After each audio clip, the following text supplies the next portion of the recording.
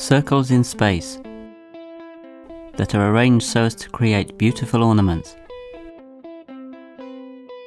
In order to understand better the three-dimensional sphere in four-dimensional space, I will show you how to fill the space with circles and thus create what mathematicians call a fibration. By the way, my name is Heinz Hopf, and I am one of the main contributors to the development of topology during the first half of the 20th century. Look at this toric surface, filled with circles that appear to be linked. Let me explain this picture to you. Circles, spheres, and tori are among the simplest objects studied by topologists. A topologist tries to understand the connections between these objects. I worked in Berlin, Princeton, and Zurich, and one still comes across my name often in contemporary mathematics. Poincare-Hopf theorem, Hopf invariant, Hopf algebra, Hopf fibration. Let me paint my portrait for you. I published the discovery of my fibration in 1931.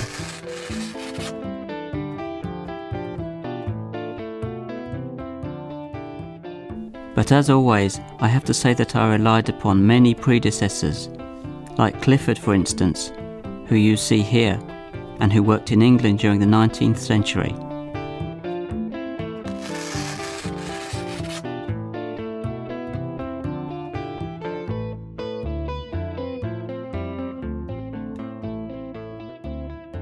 Let's begin with some explanations on a blackboard.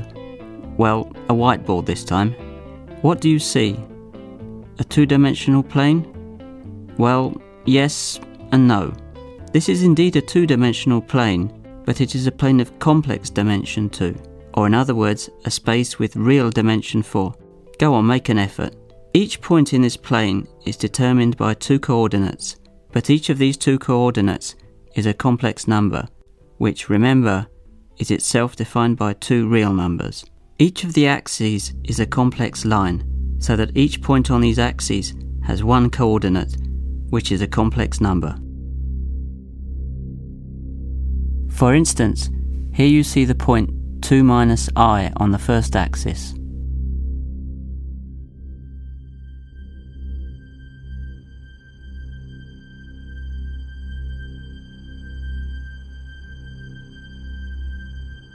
The same is true for the other axis, the y-axis.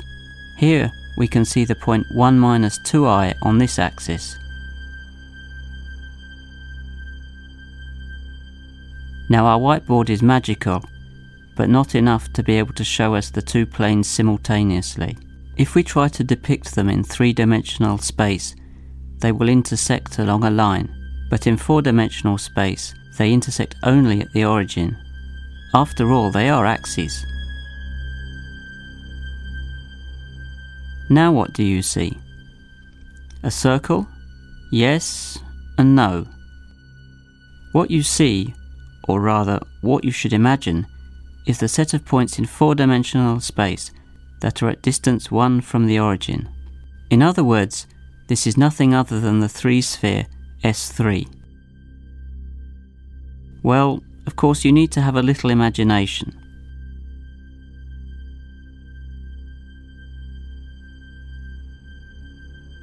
Let's try to see at least how this sphere intersects the first axis. The three-sphere intersects the first axis in a set of points on this axis which are at distance 1 from the origin.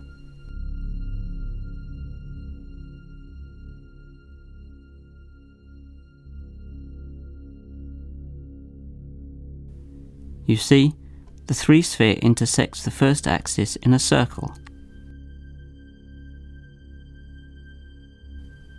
The same is true for the second axis, which intersects the three sphere in a circle as well, the blue circle. Now what is true for the horizontal line and the vertical line is equally true for all lines going through the origin.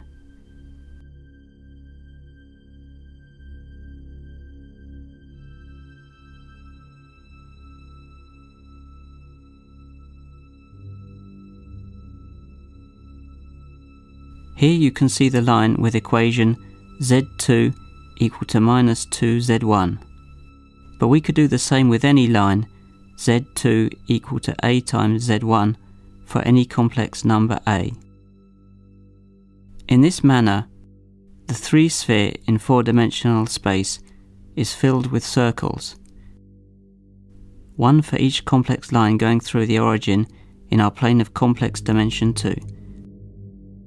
Careful though, in the picture you get the impression that the red circles intersect each other, but this is not the case in the reality of dimension 4. Lines only meet at the origin, so their intersections with the unit sphere don't intersect at all in fact. I was the one who discovered this decomposition of the sphere into circles, and ever since it is known as the Hopf fibration. Why fibration? Well, you should think of the fibres of fabric. We are going to look at all that using stereographic projection. Imagine that we project the three sphere from the North Pole onto the tangent space at the South Pole, which is our three-dimensional space. Here is the projection of one of the circles which, as we have seen, is the intersection of one complex line and the three sphere. But there are many such circles, one for each complex line going through the origin.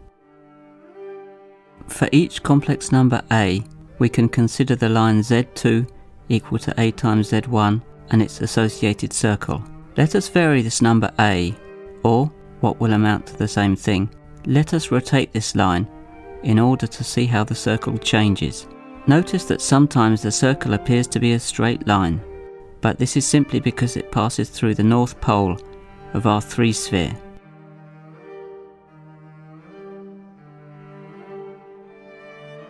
Let's look at two of these circles simultaneously. In the lower left hand corner, they are the two moving complex points, one red, the other green. You can see the circles associated to the red and green points. Notice that these two circles are linked together like two links of a chain. It is impossible to separate them without breaking them.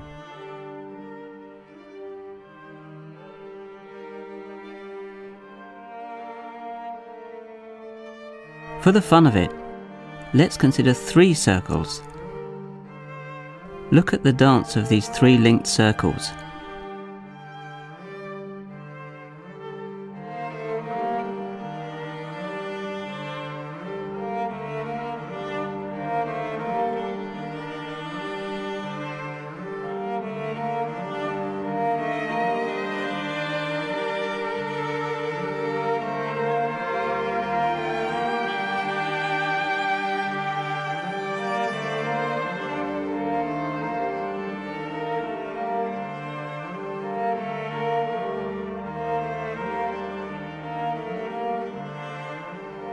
Now let's take many more complex lines, chosen randomly, and let's look at them all at once.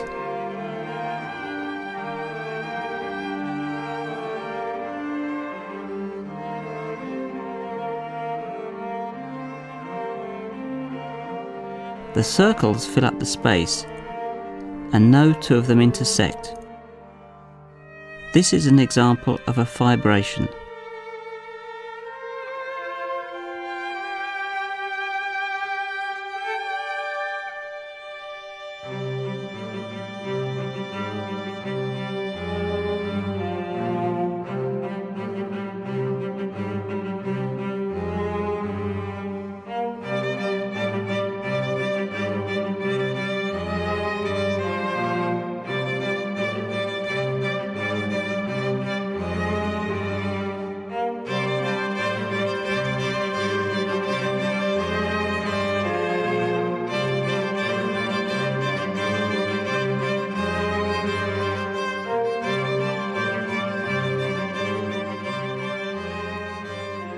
Let's try to understand this better by returning to the board for a moment.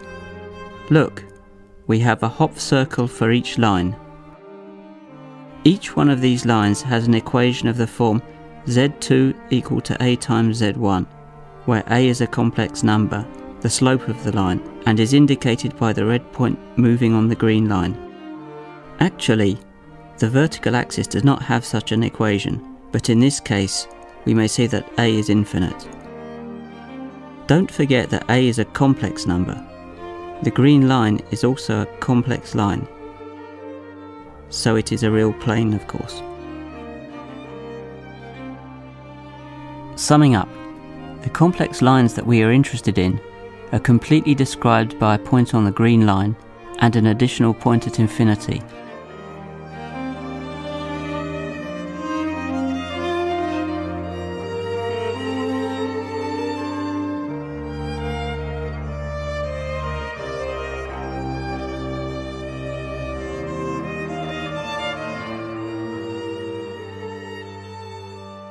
But we already saw that if one adds a point at infinity to the complex line, we get the usual two-sphere.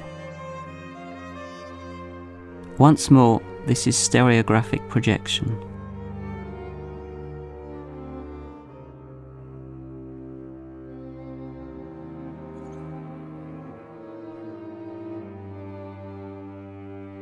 So the complex lines that interest us are described by points on the yellow sphere the two-dimensional sphere S2.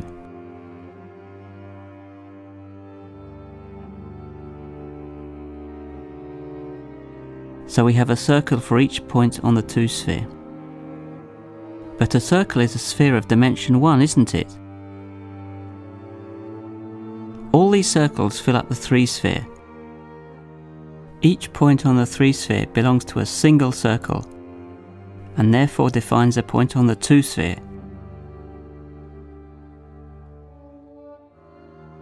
this way, we get a projection from the 3 sphere to the 2 sphere. Complicated, isn't it? Mathematicians say that above any point of the base S2 there is a fibre which is a circle S1 and that the total space of this fibration is the sphere S3. I am very proud of my fibration all the more so because it has become a fundamental object in topology.